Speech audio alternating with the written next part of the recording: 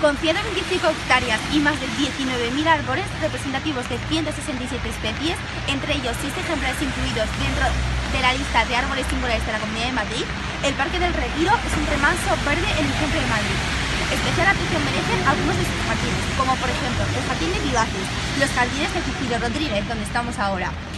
los jardines del arquitecto Herrero Palacios, la Resaleda y el parterre francés con el ciprés calvo, el árbol más antiguo de Madrid, del que se dice que podía tener alrededor de 400 años, y entre sus alimentos arquitectónicos e históricos más importantes se encuentran el Estanque Grande, el Palacio de Velázquez y el Palacio de Cristal. Construido en la primera mitad del siglo XVII, dentro del proyecto paisajístico desarrollado para el Palacio del Buen Retiro,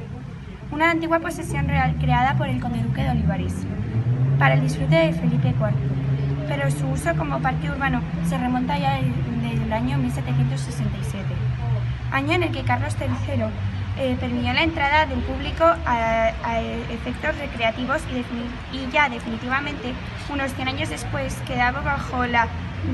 em, titularidad del Ayuntamiento de Madrid.